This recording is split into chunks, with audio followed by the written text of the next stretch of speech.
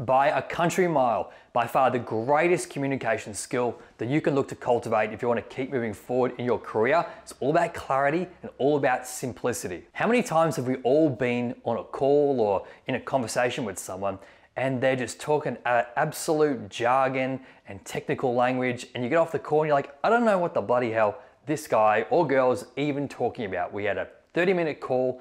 I actually couldn't understand what they were saying. I've got no idea what they mean. I'm gonna have to set up a separate call with someone who can decipher it for me and we can sort of get the, you know, the code breakers here to understand what this person was even trying to communicate. Because there's nothing more frustrating than being on a call and you're listening to someone speak and you're like, I've got no idea what they're saying. It's so frustrating. How am I supposed to have a conversation here. How are we supposed to keep moving this project forward if no one can understand what the bloody hell this person is talking about? And then on the other hand, I'm sure that you've been on a call, I know I have, with people who just do not know when to shut up on a call. Again, whether it's during a meeting and they just completely hijack the meeting and they keep talking and talking and talking, and it's just verbal diarrhea. Or likewise, you're on a call, like a Teams call, and they're chatting away and they just do not stop and they um, cut people off during conversation, they start talking, they don't know when to stop talking, and because obviously during Teams or on a Zoom call, it's so hard to interject into conversation because, you know, one person's speaking and cuts off the other person, then you're like, well, who's speaking? Like,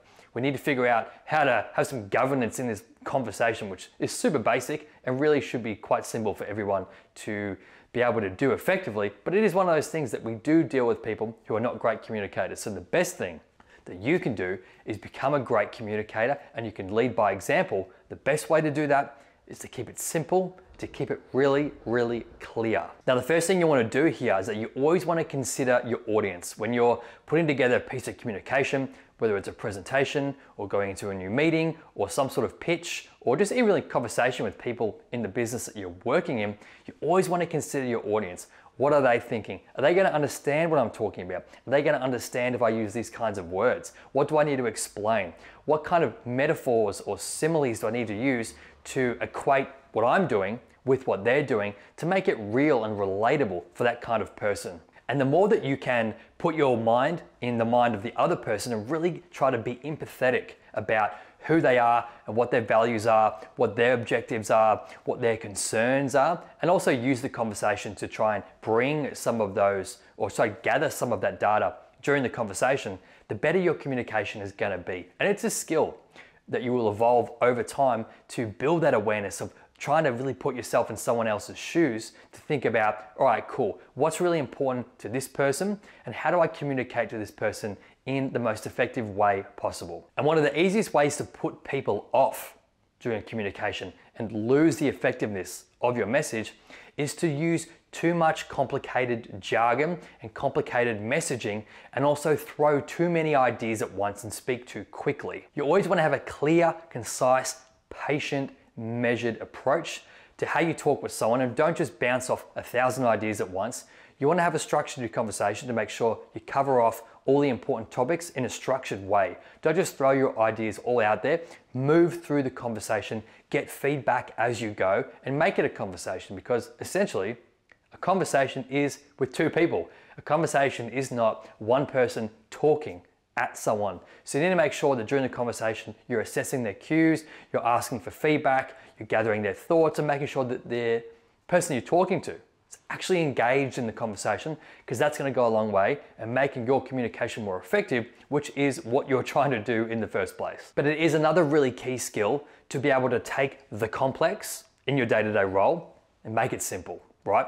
So whether you're kicking off a new project, whether you're a senior leader speaking to your team about a merger or an acquisition or a new project or some sort of business update, you want to meet people where they are and you want to take the complex and you want to make it simple. And in many cases, things that are complex can be made simple in some way. I'm sure that if I was having a conversation with Elon Musk, he would be able to communicate to me things about uh, space travel and about rockets and about physics that would be relatable. I'm sure he's a great communicator. I'm sure he'd be able to distill the key principles down in a way that would be makes sense for me. Whereas if I'm talking to some academic person at a university, I'm sure they can hit me with jargon about Plato or probably not Plato, but like Isaac Newton and you know black holes and all this sort of stuff. I'm like, I don't understand any of this stuff. I don't have any frame of reference.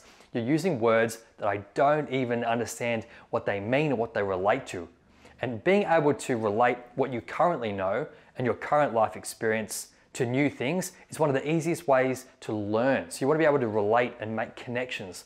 Learning is all about making connections and communicating with people. It's all about connecting with people. So you want to have a structure to communication, make sure the structure is logical and that you don't just throw a million ideas out, but you always want to make sure you're keeping it simple. Keep it really clear. Don't dumb it down and don't be condescending to the people that you're addressing and communicating with, but meet them at their level. Ask for feedback. If things aren't clear, try and make them clear because it's going to hold you back in your career.